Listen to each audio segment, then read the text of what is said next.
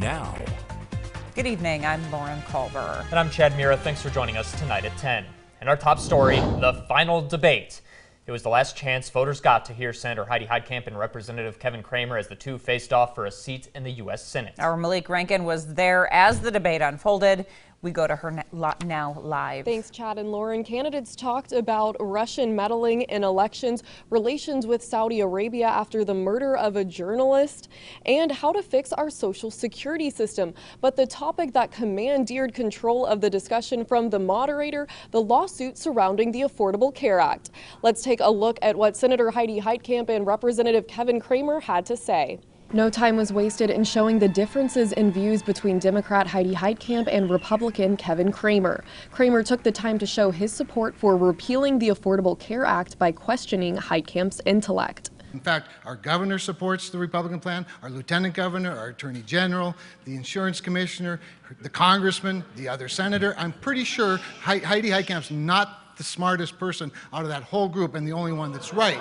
With that said, with that he just mentioned all of the politicians, Republican politicians, who are supporting these plans. Guess who didn't? The North Dakota Hospital Association, the Physicians Association, all of the patient protections, AARP. There was not one group in North Dakota other than the Republican Party and the Republican Party officials who supported any of those plans for replacement.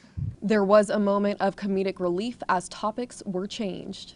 I'm going to move on now to another non-controversial. This is so fun. this is fun. This is a real debate. this is, this is what debate. This is what debate. This is what they came here yeah. for, right? Candidates gave their thoughts on immigration as a caravan of thousands are currently making their way to the southern border. The president did present four pillars, and guess who voted for it? I did. Guess who didn't vote for it? Half the Republican caucus in the Senate because they couldn't agree. And so it's time for leadership and it's time for bipartisan leadership. It's time to reignite this. But the one thing we know, we cannot leave our borders unprotected. I agree with that rhetoric, but we have to build that wall and then secure the other parts of the border with vessels, with aircraft, with technology. Another contentious topic that split the candidates were trade tariffs put in place by the Trump administration. I caught up with both candidates after the debate, asking them how they felt the evening went. They both said that this was a win for North Dakota voters because it gave you at home a chance to see the clear differences between the candidates. Back to you both in the studio. Thank you, Malik Rankin, reporting live from NDSU Memorial Union Hall. The debate tonight follows news that former Vice President Joe Biden is making a stop in North Dakota next week. Biden spoke at the last Democratic convention in Grand Forks.